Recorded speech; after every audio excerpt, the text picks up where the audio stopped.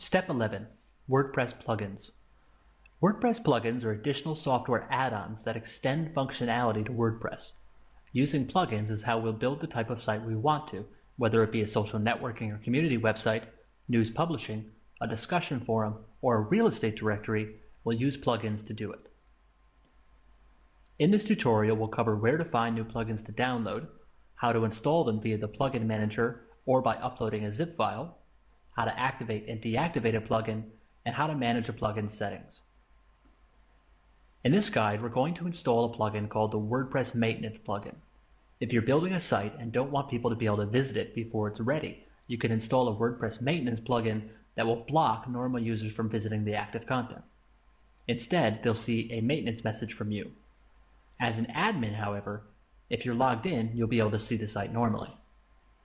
For those members that are creating their first live site, you'll want to have your search engine privacy box and the settings set up properly, but also want some double protection by adding this plugin.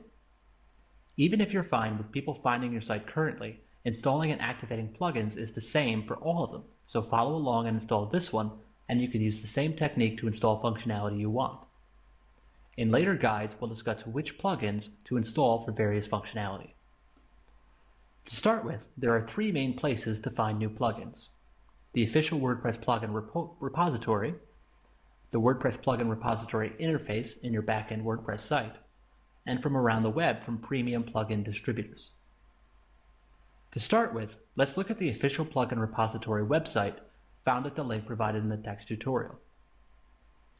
Using this page, you can find new plugins either by clicking one of the popular tags, looking through the featured plugins, or by entering in a search. For our purposes, we're looking for our maintenance plugin, so type in maintenance into the search bar.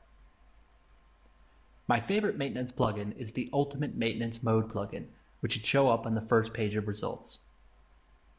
Click on the Ultimate Maintenance Mode title to go to the plugins page. Most plugins you'll find are completely free, and if so, you'll see a large download button.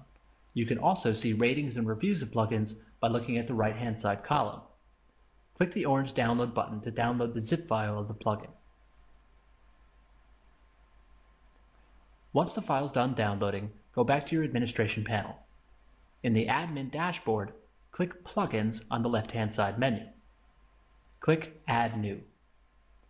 Click Upload under Install Plugins click the Choose File button. Locate the plugin zip file you just downloaded and select it. When managing themes and plugins, you don't need to unzip the file first. With the plugin zip file selected, click Open. Then click Install Now. Wait for WordPress to install the plugin.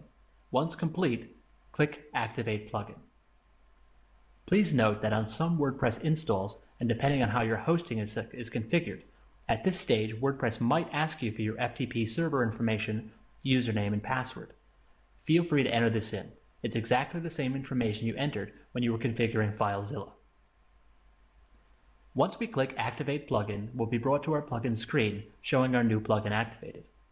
Click on the Settings item under Ultimate Maintenance Mode to see the settings. This is where you can enable the maintenance mode. If this box is checked, users that aren't admins will not be able to see your site.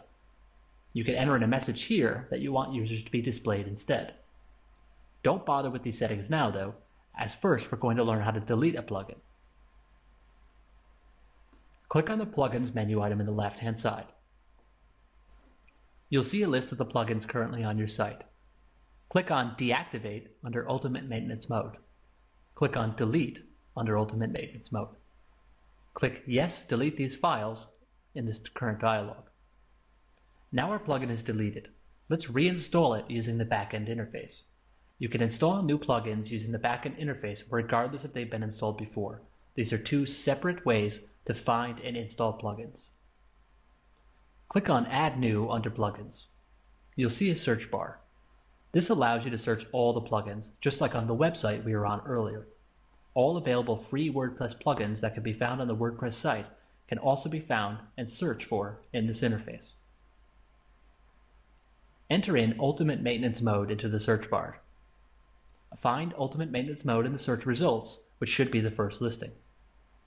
Click Install Now under the Ultimate Maintenance Mode title and follow the same process you did before to install and activate the plugin.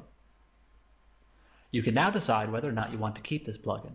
If so, configure it and then move on to the next section. If not, feel free to delete it before moving on. Before doing so, though, please note that any plugin that has settings will usually add a new menu under your settings menu. If you click on settings now before deactivating or deleting the maintenance mode plugin, you'll see a new menu called maintenance. If you install a new plugin and are looking for the settings to configure it, if there's not a new menu on the left-hand side, check under your settings menu. Aside from the WordPress site and the backend interface, there are also premium plugin sites available from around the web. Some sites sell memberships to access premium plugins or offer one-off payments. An example of a one-off payment is WPML, which offers a great translation plugin for a set cost. An example of a membership site is WP Dev, whose plugins we'll cover in later guides so you can decide if purchasing, purchasing is something that's right for you. Once you've joined one of these plugin sites or purchased a premium plugin, you'll have access to a zip file which you can then download and upload during this, using the same process that we did previously. If you have any questions about plugins or which ones you should be using to create a certain kind of functionality, please contact support. Please also feel free to browse the plugin directories and try installing and configuring your own plugins to get used to the process. Once you're comfortable, move on to the next tutorial covering front-end themes.